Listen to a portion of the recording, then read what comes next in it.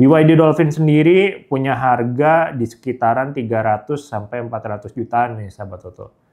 Sementara Wuling Bingo EV dikenal dengan harga yang lebih terjangkau karena harganya tuh di sekitaran 300 jutaan nih sahabat Toto. Paling mahal tuh sekitar 370 jutaan. Dari BYD Dolphin uh, untuk eksteriornya dia menampilkan desain yang modern dan futuristik. Sementara itu Wuling Bingo EV punya desain yang lebih imut dan berkarakter khas kendaraan mini EV.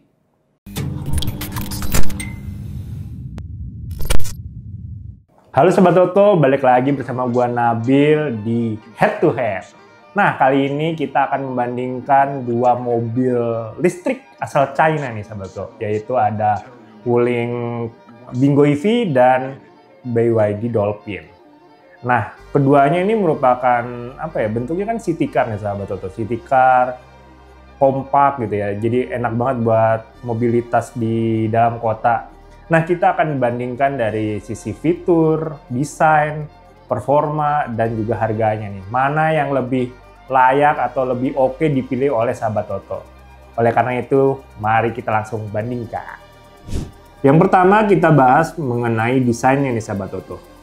Dari BYD Dolphin, uh, untuk eksteriornya dia menampilkan desain yang modern dan futuristik.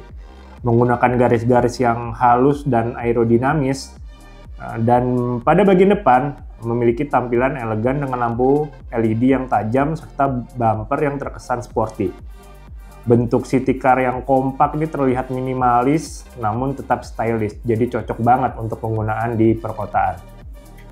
Lanjut ke interiornya, BYD Dolphin menawarkan kesan modern dan lapang dengan dominasi warna yang terang hingga memberikan nuansa yang lebih elegan nih sahabat Toto.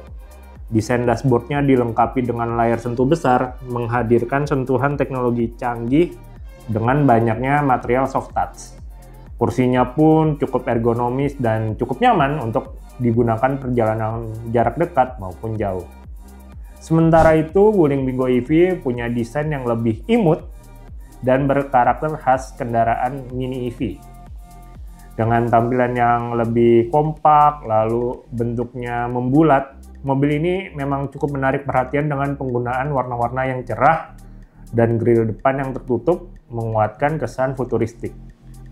Desainnya yang cukup kompak membuatnya sangat cocok untuk mobilitas di dalam kota dan parkir yang di area-area sempit misalnya.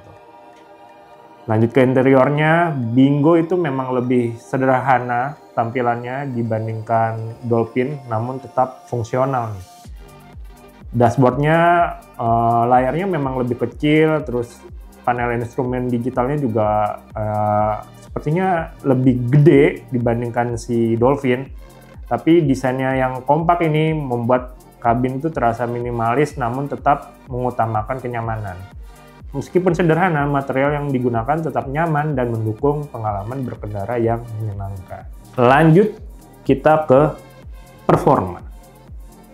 BYD Dolphin ditenagai oleh motor listrik bertenaga sekitar 70 kW atau 94 HP dan juga ada yang uh, varian yang 150 kW dengan tenaganya itu 134 HP.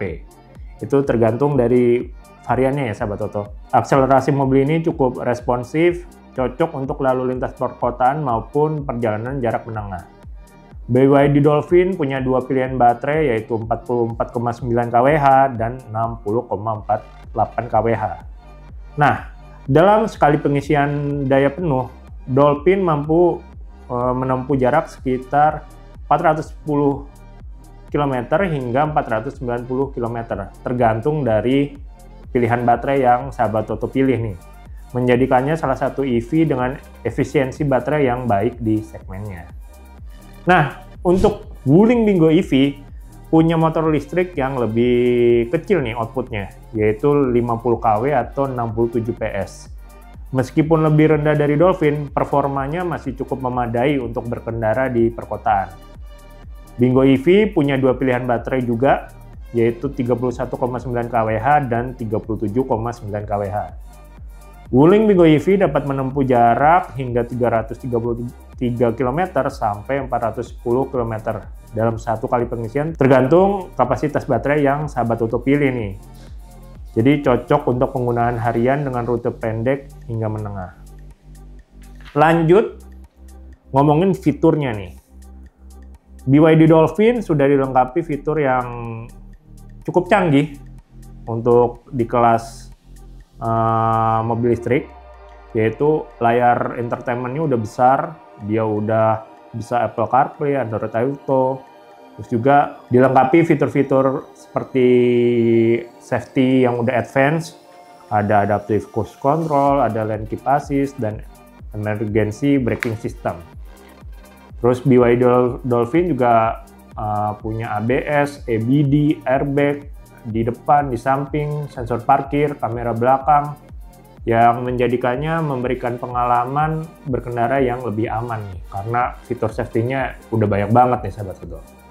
Sementara Wuling Bingo EV menawarkan fitur yang lebih sederhana dibandingkan Dolphin. Layar head unitnya masih lebih kecil namun tetap mendukung konektivitas Bluetooth dan beberapa fungsi dasar lainnya. Terus untuk fitur keselamatannya dia udah di berikan ABS, EBD, airbag, sensor parkir, kamera belakang, tapi dia belum dilengkapi dengan driver assistant seperti di eh, BYD Dolphin ya sahabat Toto. Tapi dia udah punya WIN, yaitu uh, perintah suara yang menggunakan bahasa Indonesia.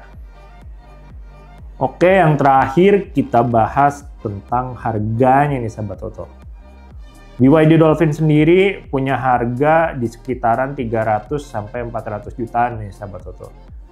Dia sekarang punya dua varian yaitu Dynamic Standard Range dan Premium Extended Range. Dengan fitur yang lengkap dan teknologi yang lebih oke okay nih, harganya memang sebanding dengan performa serta kenyamanan yang ditawarkan. Sementara Wuling Bingo EV dikenal dengan harga yang lebih terjangkau karena harganya tuh di sekitaran 300 jutaan nih sobat Toto. Paling mahal tuh sekitar 370 jutaan. Dia punya tiga varian, ada long range AC, long range AC DC, dan premium range AC DC. Meskipun fitur dan performanya lebih sederhana, Bingo EV menawarkan solusi mobilitas listrik yang efisien dengan harga yang lebih ramah di kantong. Nah, itu dia tadi sahabat Toto.